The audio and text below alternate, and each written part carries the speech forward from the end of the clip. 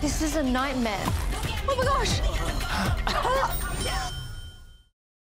This is a story about me, Lia, and T. How is the shop? It's doing well. It is. It seems like you are making something of yourself. In my zone now. It's a Chinese tradition to have your fortune told before big events. Like a wedding. I feel like we can celebrate Lia's success as well. I'm in control.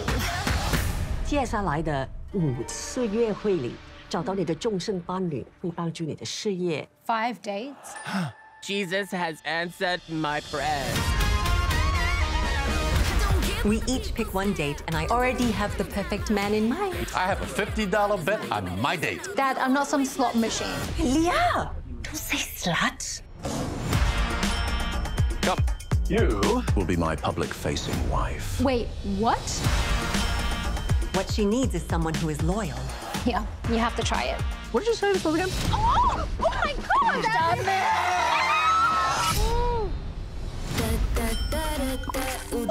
Oh my gosh! My God, something died. Oh, and they were buried in your mouth. Richard. It's good to see you. Mm-hmm. Oh, this is a nightmare. Not meeting anyone new. Grandma, I know what you're gonna say. Suck it up and get back out there. Dating is just a numbers game, and your number happens to be five. In six months, we'll begin trying for children. Three sons, minimum.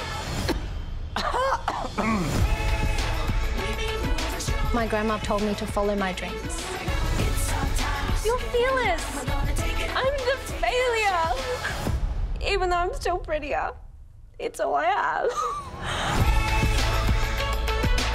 那你到底会选哪一个呢？